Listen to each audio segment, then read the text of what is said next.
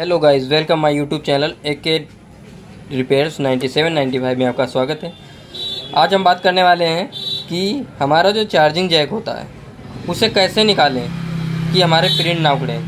कुछ भाई हमारे कमेंट कर रहे थे कि भाई हम चार्जिंग जैक को निकालते हैं और हमारे प्रिंट उखड़ जाते हैं, जिससे हमें चार्जिंग जैक को लगाने में दिक्कत होती है और लाइन ढूँढने में भी दिक्कत होती है। तो उसी के बारे में आप कुछ जानेंगे, सीखेंगे।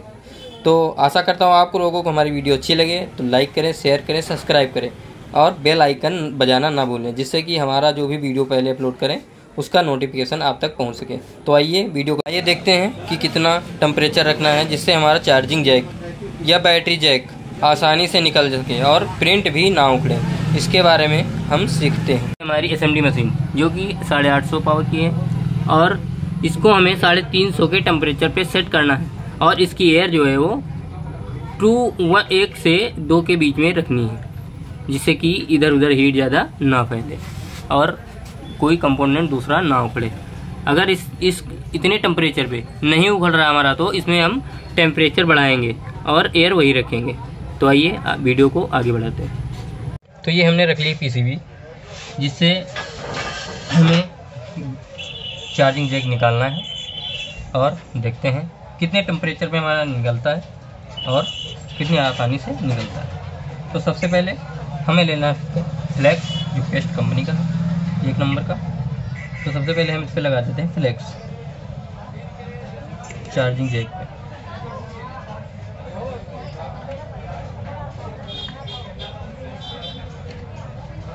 उसके बाद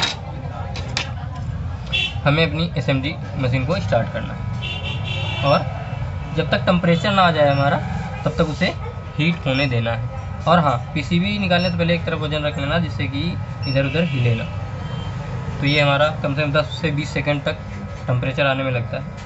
तो टेम्परेचर आ चुका है। अब हमें नीचे से हीट देना है। ऊपर से भी दे सकते हैं। ऊपर से बगल में एक जैक लगा हुआ है प्लास्टिक का है, जो जल सकता है। इसलिए हम नीचे से हीट दे रहे हैं। और जब तक हीट देंगे, जब तक ये ऑटोमेटिक पिघल नहीं जाएगा। तो देखिए दोस्तों कैसे पिघल रहा है?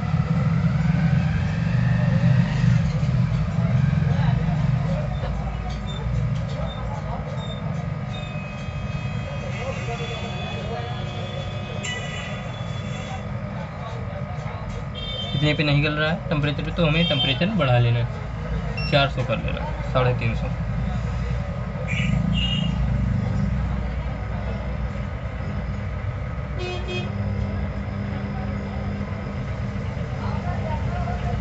दोस्तों देखो, कितनी आसानी से निकल गया।